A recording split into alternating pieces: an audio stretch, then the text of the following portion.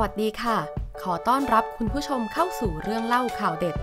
นาหงายไหมล่ะ ป้าถามหนุ่มวัย 28 ทำไมยังมานั่งรถเมล์ลูกสาวป้าอายุ 22 ซื้อรถใช้เองแล้ว เป็นอีกหนึ่งเรื่องราวที่เรียกได้ว่า ชาวเน็ตให้ความสนใจกันเป็นจำนวนมาก เมื่อมีผู้ใช้ Facebook รายหนึ่งได้โพสต์เล่าถึงเรื่องราวของป้าและหนุ่มวัย 28 โดยโพสต์เล่าว่า บนรถเมย์มีคุณป้าหิ้วตะกร้าผักเพื่อไปตลาดขึ้นรถมา เจ้าหนุ่มน้อยก็รีบลุกให้ตามมารยาททางสังคม คุณป้ายิ้มแล้วถามว่าพ่อหนุ่มปีนี้อายุเท่าไหร่แล้วล่ะ หนุ่มน้อยตอบว่า 28 แล้วครับ คุณป้าบอกว่า 28 แล้วยังต้องมาเบียดเสียดบนรถเมย์อีกหรือ ลูกสาวป้าอายุ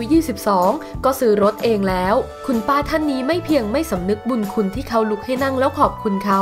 กับตั้งใจคุยโวทับอวดลูกสาวและตำหนิชายหนุ่มว่า อายุ 28 แล้วยังไร้ความสามารถซื้อรถขับ แน่นอนว่าใครเจอสถานการณ์แบบนี้เป็นต้องหงุดหงิด หรือไม่พอใจกันบ้าง ที่จู่ๆคนไม่รู้จักกันมาก่อนมาพูดจาเชิงดูถูก แต่เรื่องราวนี้กลับพลิกผันอย่างสิ้นเชิง เมื่อหนุ่มคนนั้นถอนหายใจแล้วพูดด้วยรอยยิ้มกลับไปว่า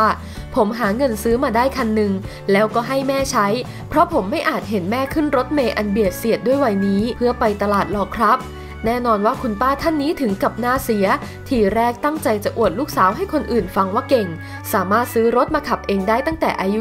22 แต่กลับต้องมาเจอคำพูดที่ทำเอาเงิบของหนุ่มคนนี้ ที่ไม่เพียงจะซื้อรถเองได้ แต่เขากลับซื้อรถให้แม่ใช้ ไม่ปล่อยให้ต้องมาลำบากขนของพรุงพรัง จากตลาดกลับบ้านบนรถเมล์ที่มีคนแออัดแบบนี้